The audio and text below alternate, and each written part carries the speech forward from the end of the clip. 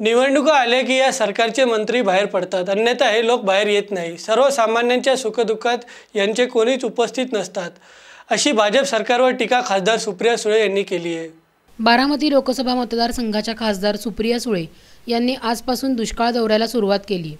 दौंड तालुक्यातील गावभेटीत आज जिरेगाव व वासुंदे येथे भेट घेऊन गावातील टंचाई व कामांचा आढावा घेतला.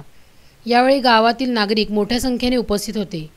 दुष्काळात जनावरांना हिरवा चारा उपलब्ध व्हावा तसेच पाणीपुरवठ्याच्या चार खेपा व्हाव्या अशी मागणी यावेळी जिरे गावातील ग्रामपंचायतीने खासदार सुप्रिया सुळे यांच्याकडे केली आहे राष्ट्रवादी काँग्रेस आणि संघटनेतील सर्व लोक आज माणुसकी म्हणून काम करत आहेत.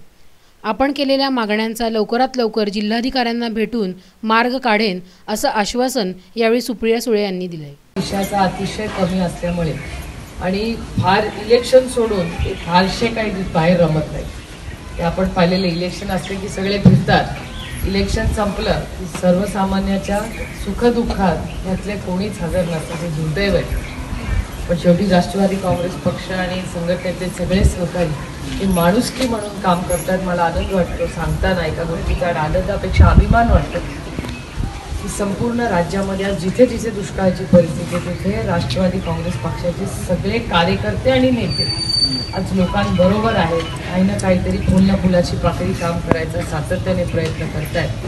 आणि म्हणून ह्याही भागामध्ये आप्पासाहेब असतील काही असतील या सगळ्यांच्या माध्यमातून ह्या भागाचा सातत्याने आढावा होता इलेक्शन चालू असतानाही सातत्याने आप्पासाहेब आप्पा बाप्पा सगळेच ताई सगळेच एकीकडे अर्धा दिवस इलेक्शनचं काम करायचे अर्धा दिवस दुष्काळावर मात करण्यासाठी काय करता येईल याच्यासाठी प्रयत्न करायचे. त्यामुळे आपल्या सगळ्यांची भेट घेण्यासाठी एक आधार देण्यासाठी आम्ही आलेलो. ज्या ज्या काही मागण्या आहेत त्या आम्ही आज दिवसभरात कलेक्टर दादा या सगळ्यांचं मार्गदर्शन घेऊन काहीतरी आपण सगळे मिळून मार्ग काढू एवढाच आपल्याला शब्द देते.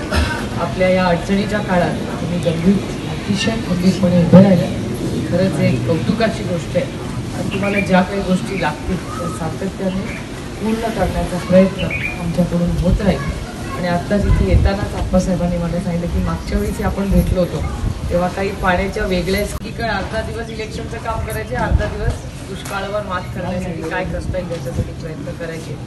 त्यामुळे आपल्या सगळ्यांची भेट घेण्यासाठी एक आधार देण्यासाठी आम्ही आलेलो.